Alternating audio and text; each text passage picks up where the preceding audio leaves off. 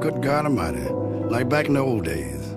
You know, years ago they had the A&R men to tell you what to play, how to play it, you know, whether it's disco or rock. But uh, we just went in the studio and we did it. We had champagne in the studio, of course, you know, compliments of the, the company, and we just laid back and did it. So we hope you enjoy listening to this album half as much as we enjoy playing it for you, because we had a ball. Only real music's gonna last.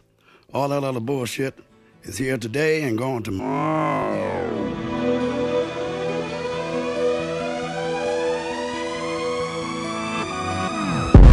I'm waking up to ash and dust. I wipe my brow and I sweat my rust. I'm breathing in the chemicals.